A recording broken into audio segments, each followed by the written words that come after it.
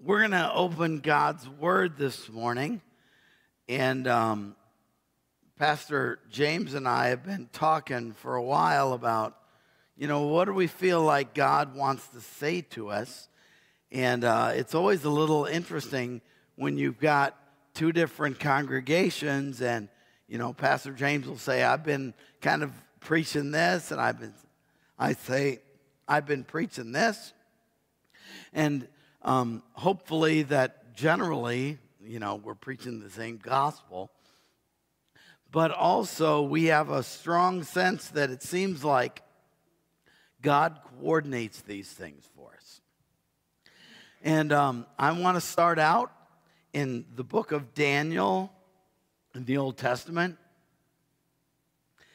And uh, then Brother James is going to come up and talk to us from Philippians. And basically, the question that we're dealing with this morning is what do you do when you find yourself living in a society that says, don't live for God? What do you do when you find yourself in a society, not just in a culture, but sometimes in a workplace? You might be in that situation, sometimes in your family. I've known one young woman that um, came to know Christ through a youth ministry I was leading. And she went home to her parents and she said, I want to follow Jesus. I'm a Christian now. And they said, No, you're not. And they took away the Bible that we had given her and they told her, You can't read your Bible. We don't, and they forbade her from going to youth group. Eventually, they kind of softened on that. But there was a time when she was hiding a Bible in her locker at her public school because at her public school she was welcome to have it, but she couldn't bring it home. And so she was very motivated to dig into God's word. She memorized more scripture in that first six months than I think I ever had a teenager memorize, maybe more than I've ever had an adult memorize, because she said, It doesn't matter what my society says, I'm going to live for God. And that's a new question. And, and it's a subtle question because some of the ways, honestly, that we as Christians get all paranoid, some of the things that we fight against, I'm like, are we picking the right battles. Um, I have been um, in situations in Kazakhstan, in China, in Vietnam, in Indonesia, in countries around the world. Most of the world, there are legal standards that fight against Christianity. In every one of those countries I just mentioned, it's illegal to lead someone to Christ except for under certain situations and regulations. And for the first time in the United States, Christians face this question. And as I read Daniel chapter 3, I want you to ask yourself, how does this relate? Because this is 2,600 years ago. Daniel chapter 3. Here's what it says King, King Nebuchadnezzar made an image of gold, 60 cubits high and six cubits wide, just so you can picture that. That's about 90 feet high and nine feet wide. And set it up on the plain of Dura in the province of Babylon. He then summoned the satraps, prefects, governors, advisors, treasurers, judges, magistrates, and all the other provincial officials to come to the dedication of the image he had set up. So the satraps, prefects, governors, advisors, treasurers, judges, magistrates, and all the other provincial officials assembled for the dedication of the image that King Nebuchadnezzar had set up, and they stood before it. Now, most of us are already wondering why they put that whole list in there twice because they, they, the author here of Daniel, Daniel wants us to understand that we're dealing with a situation where all the powers, all of anybody that's anybody was ordered to do this. And they've gathered, and then the herald loudly proclaimed, Nation and peoples of every language, this is what you are commanded to do. As soon as you hear the sound of the horn, flute, zither, lyre, harp, pipe, and all kinds of music, you must fall down and worship the image of gold that King Nebuchadnezzar had set up. Whoever does not fall down and worship will immediately be thrown into a blazing furnace. I know this is, for many of us, a familiar story, but think about that. They're being told there's a 90 foot gold image, and if you don't bow, you'll be thrown in a furnace. Therefore, as soon as they heard the sound of the horn, flute, zither, lyre, harp, and all kinds of music, all the nations and people of every language fell down and worshiped the image of gold that King Nebuchadnezzar had set up. I do want to stop there. Notice that it says, the, all the nations and people of every language fell down. See, what had happened here was the people of Babylon, the nation, had conquered many people, many nations, uh, who all had their own God. And King, King Nebuchadnezzar has effectively said, I don't care what you come from. I don't care what your culture is. I don't care what your background is. I don't even care what you believe. You must bow. And it says they did. At this time, some astrologers came forward and denounced the Jews. The astrologers would have been basically the theologians, the advisors. The, these were the inner circle of this religion because astrology was a big part of it. They said to King Nebuchadnezzar, May the king live forever. Your majesty has issued a decree that everyone who hears the sound of the horn, flute, zither, lyre, harp, pipe, and all kinds of music must fall down and worship the image of gold, and that whoever does not fall down and worship will be thrown into a blazing furnace. But there are some Jews who you have set over the affairs of the province of Babylon Shadrach, Meshach, and Abednego, who pay no attention to you, your majesty. They neither serve your gods nor worship the image of gold you have set up. Furious with rage, Nebuchadnezzar summoned Shadrach, Meshach, and Abednego. So these men were, men were brought before the Lord, and Nebuchadnezzar said to them, Is it true, Shadrach, Meshach, and Abednego, that you did not serve my gods or worship the image of gold I have set up? Now, when you hear the sound of the horn, flute, zither, lyre, harp, pipe, and all kinds of music, if you are ready to fall down and worship the image I made, very good. I think he paused at that moment. And he looks him in the eye and he says, But if you do not worship it, you will be thrown immediately into a blazing furnace. Then what God will be able to rescue you from my hand? Shadrach, Meshach, and Abednego replied to him, King Nebuchadnezzar, we do not need to defend ourselves before you in this manner. If we are thrown into the blazing furnace, the God we serve is able to deliver us from it. And he will deliver us from your majesty's hand. But here, verse 18.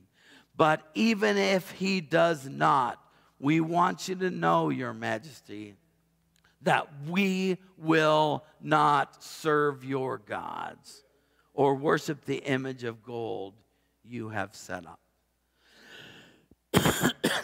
We're going to stop there at that moment. Let's pray for God's word. Lord, just pray that you would speak to our hearts. We pray that you would speak from your word, that our minds and our hearts and our spirits would be changed by the power of your word. Lord, we pray that we would hear from you, that you would change us, that you would make us your people. and that we would be like Shadrach and Meshach and Abednego, we would be courageous in the face of everything we face. In Jesus' name, amen. Now, I want to say two things that this message is not saying. First of all, the point, the main point here is not be like Daniel. I mean, we should emulate Daniel. That's a good thing. He's a good man. It's not be like Shadrach, Meshach, and Abednego. That's not the main point, although, you know, it's good to have these heroes we look up to. But the main point is that God is able to deliver his people out of anything. God is the point, not Shadrach, Meshach, and Abednego. 2,600 years later, God is still the hero of the story.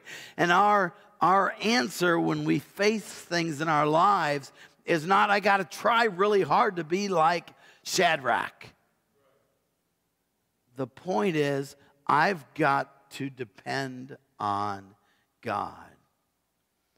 And the other thing I want to point out here is that the United States is not represented by the people of Israel in this passage.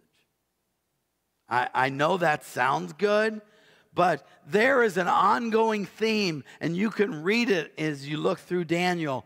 There are two kinds of kingdoms there's the kingdom of God, the kingdom of heaven, and then there's the kingdoms of this world. And ultimately, God has been doing his kingdom work for thousands of years. And in fact, when Jesus came, people thought it was about politics. There were a whole lot of people who wanted God to overthrow, who wanted Jesus to kick out the Romans. And Jesus said clearly, My kingdom is not of this world. The kingdom that we need to be focused on is the church of Jesus Christ, living by the Spirit inside us and among us. So, as we look at this passage, here's the background Nebuchadnezzar, king of Babylon, has taken the Jewish people into captivity. Now, some of them are back in Israel, but he has taken the best and the brightest, the finest young men of the culture, and he has taken them into captivity and into service. In fact, some scholars think that probably Daniel, Shadrach, Meshach, and Abednego were also made eunuchs. And if you don't know what that means, um, ask Jim Miedema later. He'll tell you because I know he loves to explain that. But um, and one of the things that we see is that these young men apparently are taken into uh, service and they are standing out. They are not primarily marked by protest, they are marked by integrity and hard work and learning and usefulness. They're doing everything they can to excel in this culture. And I think if I were to stop right here, we would have a challenge, wouldn't we? Because it's saying that God's people, when they are living the lives that God has called them to, they will stand out. But they're not going to bow, they're not going to compromise. So, long story short, Daniel, Shadrach, Meshach, and Abednego end up in a different situation. They are elevated because they have worked hard. And I want us to ask the question what is it that did, what did they do that makes us remember this 2,600 years later? If you're taking notes, I have five things that I want to say quick. Number one, their primary identity is in relationship to God's kingdom, not the earthly kingdom. Now, I love our country. I mean, I, I, if you've ever been to Mount Rushmore at, at sunset in the summer, they do this amazing show and they honor the veterans, and it's a powerful moment. And I know our country is not perfect, but you know, there's a sense in which you're like, yes, I, I love this country. But our primary identity can never be that. In fact, it shouldn't even be like, oh, I'm a child of God and I'm also a Christ, I'm also an American. No, I'm a child of God. Period. I'm a child of God who lives and is loyal to this country, but our primary identity is in relationship to God, not earthly kingdoms. And one of the reasons we know that is that um, in chapter 1, when it talks about Daniel, he was given a new name. In, in chapter 1, verse 7, the uh, chief official gave them new names. To Daniel, the name Belteshazzar. And part of the idea was oh, we're going to change who you are. We're going to teach you. We're going to shape you. We're going to brainwash you. We're going to make you into something else. But Daniel continues to be Daniel. Let me tell you how important that is. Daniel means, depending on who you talk to, either um, God is my judge, or God's prince, or God is prince. Belteshazzar means um, basically um, Satan is Lord. And so there's a battle of identity going on here where Daniel is saying, No, I have been made one thing and I have been created in one way, and there's another name. So the number one thing is your primary identity is in relationship to God's kingdom. Number two, they decided that their first allegiance was to God. And if you go back and read chapter one, you'll hear more about that. They decided in advance, I'm going to primarily serve God. And that was the decision that was made. And that, if we dug more into that, you'd see how that's important. Number three, they had established habits of obedience. Now, we don't see this as much in chapter three, but we see it very clearly in chapter 6. See, this happens again decades later.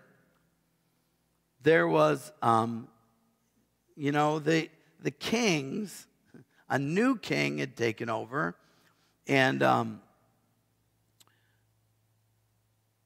basically they had made a rule that, oh, you know what? I think for 30 days nobody should pray to anybody but me. a little bit of an ego here. Um, he's saying, uh, you know what? I, I'm going to make a law that nobody can pray to anybody else but me. But in chapter 6, verses 4 and 5, it says this At, at this, the administrators and the satraps tried to, found grind, tried to find grounds for charges against Daniel but they were unable to do so. They could not find any corruption in him because he was trustworthy and neither corrupt nor negligence. Finally, they said, We will never find any basis for charges against this man, Daniel, unless it has something to do with the law of his God. Could that be said of us? Oh, there's nothing we could accuse Mark Morris of other than being faithful to God. Sorry, I don't live up to that. And they made this law and they said, you can't bow to anybody else, you can't pray to anybody else. And it says that after they made that announcement, Daniel went home and Daniel prayed as was his custom as was his custom. as he had always done before, as was his custom.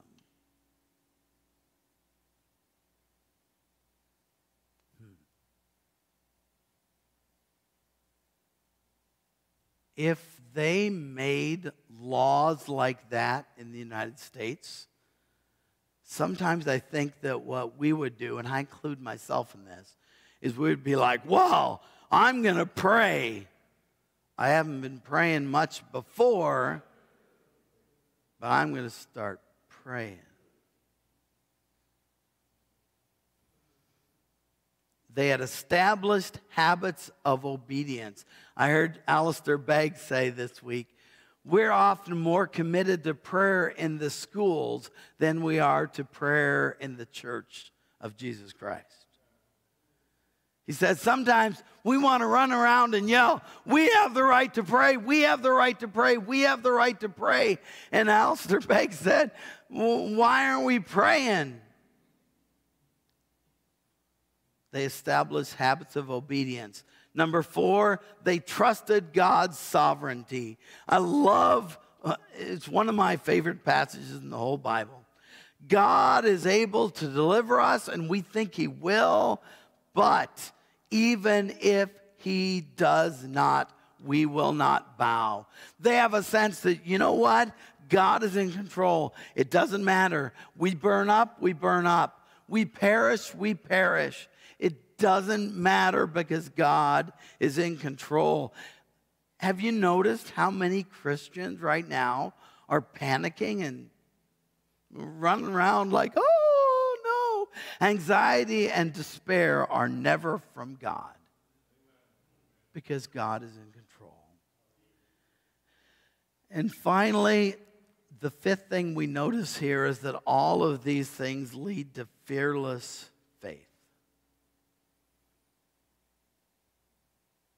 After they say that, here's what happens they throw them in the fire. And in fact, after they've given this speech, the king gets really angry. And so he stokes the fire up. I mean, they're going to throw them in a furnace already. So, in some ways, you know, like, well, a hotter fire. I don't know if that's better or worse. But he's angry. They throw them in the fire. It's so hot that the soldiers throwing them in are killed. And this is what happens. They throw them in. Then King Nebuchadnezzar leaped, leapt to his feet in amazement and asked his advisors, Weren't there three men that we tied up and threw into the fire? They replied, Certainly, Your Majesty. Look, I see four men walking around in the fire, unbound and unharmed, and the fourth looks like a son of the gods. You know, we look at that and we're like, what? Son of the gods. You know, if you think back, who was referred to as the Son of God? That's Jesus. Jesus is with them in the fire. And that's why they know they don't have to be scared. They don't have to be worried. They don't have to be anxious. They don't have to despair. If you want to live for God in a society that doesn't always encourage it, the main thing you have to do is you have to remember that you have fearless faith because Jesus is with you in the fire. Jesus is with you in the fire. I want to invite Brother James up, and he's going to um, give his kind of New Testament perspective on this. But as he comes up, I want to remind you that ultimately, in verse 29, the king decrees this I decree that the people of any nation or language or who say anything against the God of Shadrach, Meshach, and Abednego will be cut into pieces and their house be turned into piles of rubble, for no other God can save in this way. Ultimately, the glory does not go to Shadrach, Meshach, and Abednego. The glory goes to their God. I'm going to pass it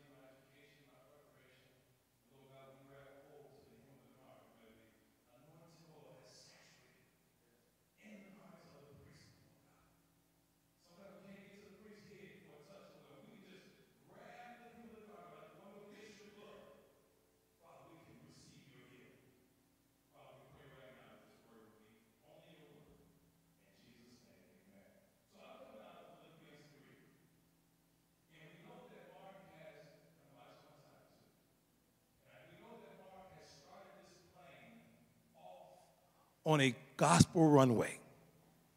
My job is to land this plane in the heart of the gospel. That's my job. And I'm going to attempt to do that with the help of the Holy Spirit.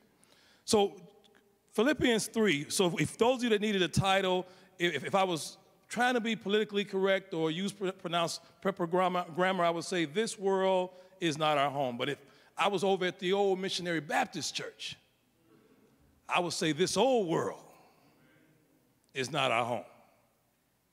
Take whichever one you want. Even if God, when, when, when Mark sent me this, we talked about this, we collaborated. He said, even if God doesn't rescue us, and I had to add a, a, a couple of descriptive words, when or how we would like Him to. Because I, I, can't, I can't make a statement if God doesn't deliver us, because I already know. I, I went to the end and I saw how the book ends, and we do win already at the I know that already. But the problem with the, the, the Israelites and the Jewish people was that he didn't do it the way they thought he should have done it. And don't act like you don't look down your thumb, your, your nose at them. We're not much different than they are. So it says, as believers, we should all understand that this world is not our home, our permanent home, but is a temporary mission field.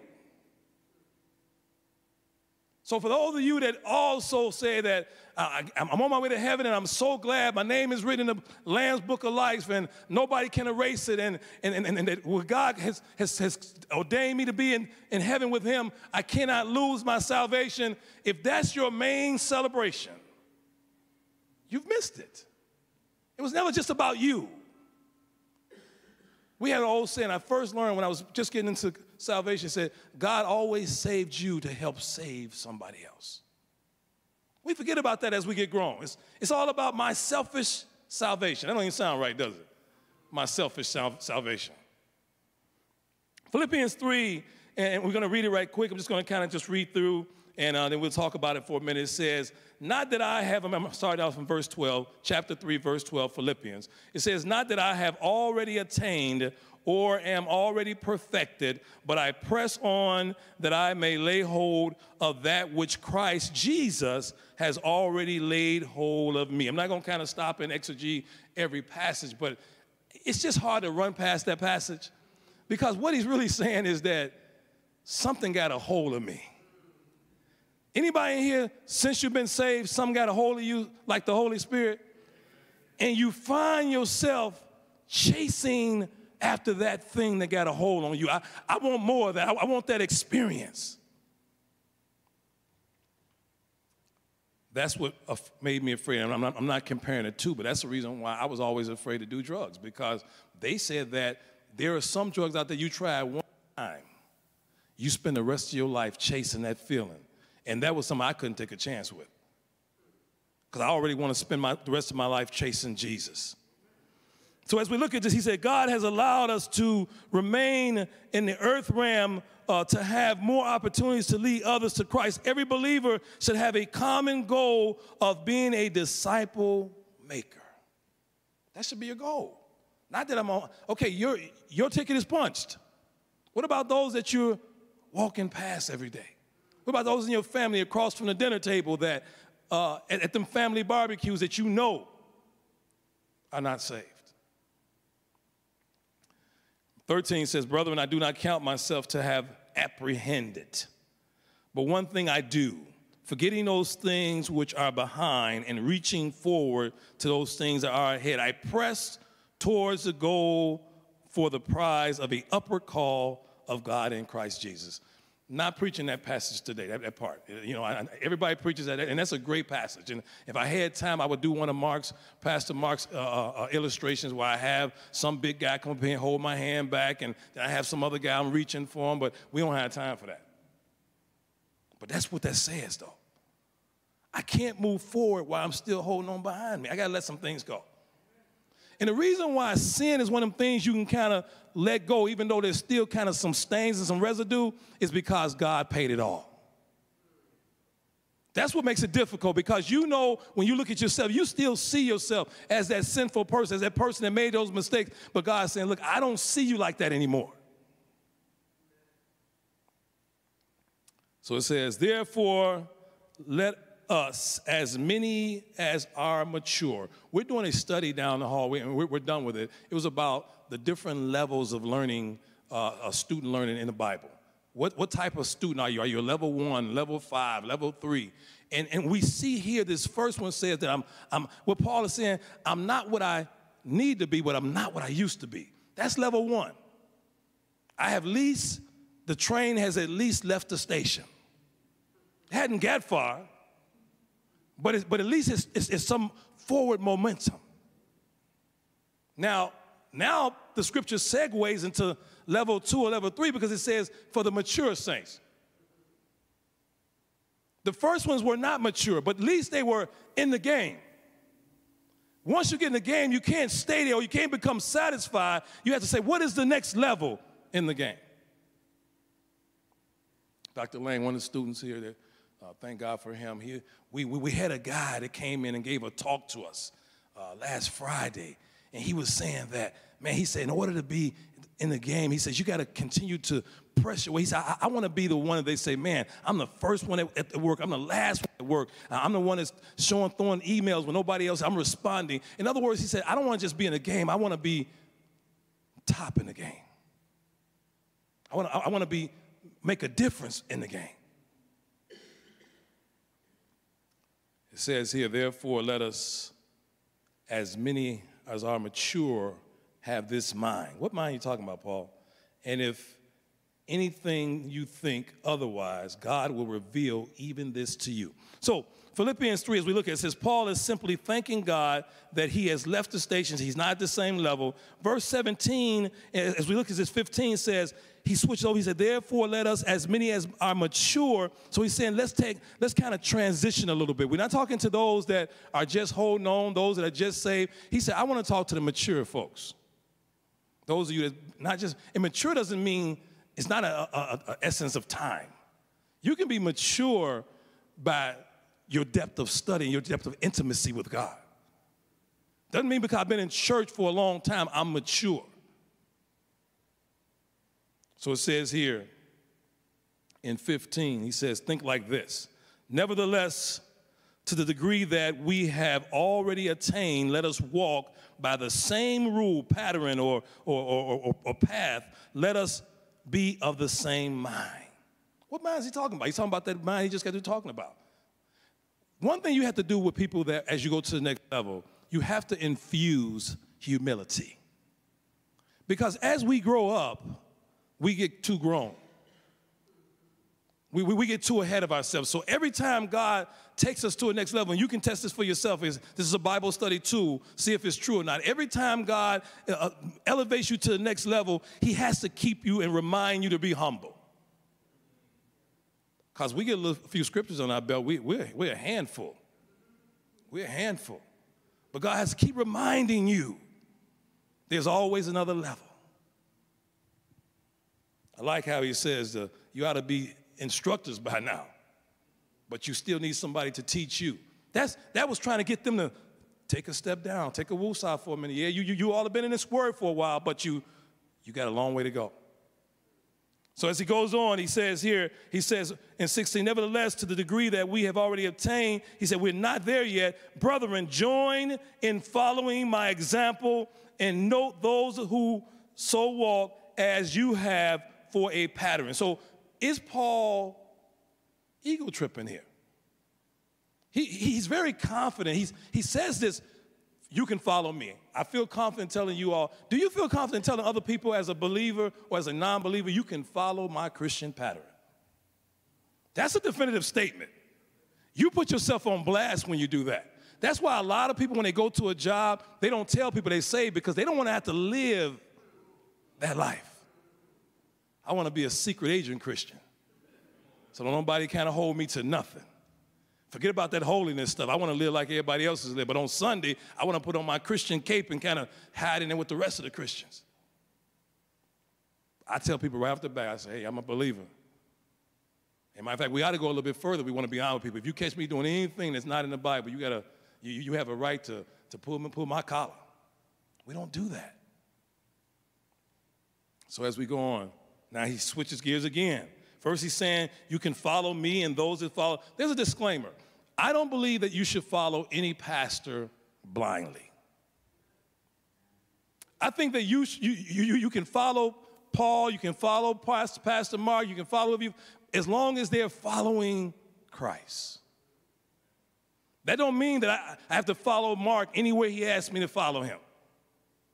I tell people that, that I serve, if anytime I ask you to follow me and you see that I'm not following the word of God, God supersedes me anytime.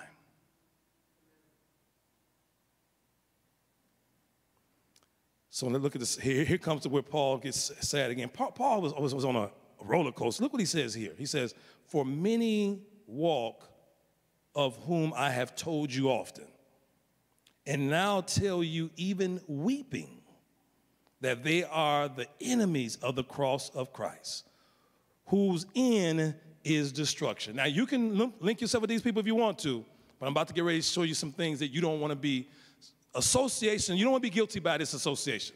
This is a bad association. So as we look at it, it says here, the verse 17, Paul's not equal triple 18 uh, through 19. Paul is passionately, sadly, definitively describing those that are not brothers and sisters of the body of Christ because they do not have the same father. How do we know they don't have the same father? Look what he says here. He said, because, let's walk down the path. He says, whose end is destruction. This world's not our home. Don't get comfortable with this world because this is how this world ends. It ends in destruction. It ends in sadness. It ends in perversity. It ends in all kind of natural disasters. But those that are in Christ, we already know how it ends. So what does it mean it ends in destruction? Eternally separated from God and eternal judgment. What else does he say? He said, also, don't follow these people. He said, whose God is their bellies. He's not talking about food here. He's talking about those that have an appetite that is so unquenchable is for this world. You, you, you don't have an appetite for God anymore. Anybody remember when you first came into Christ, your appetite for God was much stronger? Let's just be honest. But now, guess what happened? Life happens, family happens, and we start getting distracted by the very things that God blessed us with. Listen to this statement. I, I know this was from God. It says, anything, these people of God's small g is their bellies, their appetites. They're, they're searching after and they're seeking after anything that brings instant gratification and temporary satisfaction. Instant gratification, but it has temporary satisfaction. Doesn't last. Finally, whose God is their shame. So, in other words, because their minds and focus are looking upon earthly things, they are not based on truth. That word is truth. We, get too focused on things that are outside of the truth. Christians don't even debate about Bible stuff anymore. You, you ever seen Christians now having a debate and there's not even a Bible in the room? Now, I know it's kind of being a, a little bit out there, but I'm saying nobody's going to the Bible to defend what they're arguing about. They're saying, well, society is saying this now. Let's land it in the heart of the gospel. So, what are we talking about? Citizenships in heaven. For our citizenship is in heaven, from which we also eagerly wait for the, for the Savior, the Lord Jesus Christ. So, as we get to the 20, it says, But our citizenship is in heaven, and from it we await for salvation from the Savior, the Lord Jesus Christ. Christ's goal is to transform us to the glorious image of Christ. Now, who heard the scripture before that flesh and blood cannot inherit the kingdom of God? This is really speaking to that. It's talking about being transformed by the renewing of your mind. All, all the scriptures are coming up in here. So then he goes a little bit further here. He says, I get it. Even those that don't want to go to heaven, but they don't want to die. It says God does not just want us to long for eternal relationship that is filled with abundance of information. Now, this scripture is saying here, there's an excitement waiting. Paul spoke to this. Anybody remember in, in, in Philippians 1 where Paul says he got a glimpse of heaven? He, he, he just got a, now he, he didn't get a full, I don't think he got a full panoramic view because I think that he'd have been like, hey, I don't care about nobody else, I'm out of here he got a glimpse of what it means to be spend eternity with Christ. And he said, with that glimpse, he said, now I'd already seen where I want to be. My, my, my goal is set, my eyes is fixed, my mind is made up. He said, I want to go and be with Jesus. He said, but it is more beneficial for you that I stay here. Saints, where are we at today? We, we, we've got a glimpse from the Word of God about what heaven looks like, what heaven's gonna be like. Are we excited? Are we eager about it? And are we sad because I wanna go now, but I gotta stay here and evangelize the earth realm? Why are you sad? Why are you sad that you can't go to heaven right now? Because people are gonna miss you, because you're gonna miss them, because the food. You don't think Paul had people that he cared about? You don't think he had food that he liked? He said, But I, I saw a little bit of heaven. I saw where my citizenship rests in. I, I want to achieve that right now. So finally, he says, Who will transform your lowly bodies that it may be conformed to his glorious body, according to the work working by which he is able even to subdue all things to himself. This seems like a daunting task. Am I going to make it through? Uh, I, I know what my citizenship is, I know where it's not, but am I going to make it through? So many distractions, so many things that's trying to sidetrack me. Am I going to make it through? Guess what? It's not on you. When Jesus had a conversation with his father, he says, The ones that you've given me, I have not lost one of them. It, it didn't say that one has slipped out of my hands. It says I didn't lose any of them. So it's not on you. It's not on me. It's to lean, trust, and depend on Him. You, your citizenship has already been validated. You just have to lean in on Him. And so He says, finally, He says, according to, He says, transform. And so what I want to let you know is that this is not about information. Sometimes we in, in church have so much spiritual biblical information. We become spiritual bobbleheads. We know a lot about the Bible, but the Bible doesn't transform anybody anymore. It doesn't conform us, which means sanctify us through our life as we continue to look more and more like Him. So I want to ask you today is your citizenship is not here. Yeah, the one you sit next to your loved one, you love them. I, I, I love my family. I got grandkids coming. I want to see them born. But my focus is I want to spend eternity with Christ. But since my, since my ticket has been stamped, my ticket has been punched, my job is to get as many people. Now, I understand if it meant that if I can bring somebody else in, it would put my ticket in jeopardy. I would understand you not doing it. But your set, your ticket is set already. So now don't walk past or ride past anybody without letting them know that there is a better citizenship than this one. There's a home in heaven that's waiting for them. There's a eternal time spent with God that we can spend. Let's pray.